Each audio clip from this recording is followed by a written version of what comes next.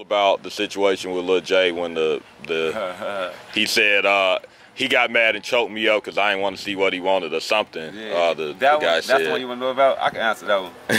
Swag, my brother, and he so okay, okay, yeah. So I, I Shout out Swag. On that, uh, that Lil okay. For the uh, when he choked that, uh, whatever that thing was. oh, he, he choked that.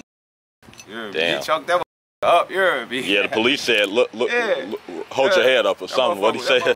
Thing was like, I can go back in there. Shit, tough over there. He didn't want to cooperate either. He said, "Are you refusing to give a Yeah, statement?" He said, he said it was just a misunderstanding. He choked me. He's like, let me see your neck.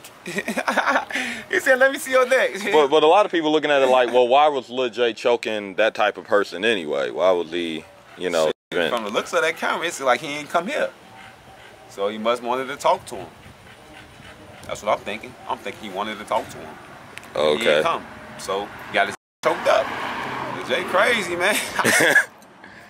I mean, it is what it is, man. You think his career's uh a lot of people say his career is over with now. How do you feel about it? You think he can come back from it? I be seeing the craziest things on the internet now. I can't tell you he ain't gonna come back from that shit. You hear me? Yeah. Hell no. I don't even know if he lost it. He said it ain't him. I don't know. Shit, I don't know. I, I looked at the video. I, I don't know. That shit like the R. Kelly shit.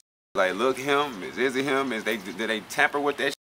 What the they do to that shit? I don't know what the happened to that. So I'm Yeah. going off what he said. Well, well, now, how do you feel about these uh, prison tapes being released, man? Do you feel like uh, that person is doing that shit never should show their face? And how do you feel that people are getting this shit, or that person is getting? You think that person probably works in the prison system? Shit. I don't know, man. You ask me so much crazy shit. I'm about to get off this interview. This gonna be my last question. Cause I'm trying to come up, you heard me. But um, shit, whoever dropping that shit, keep dropping that shit. You did. Well- Expose these. You heard me. All right.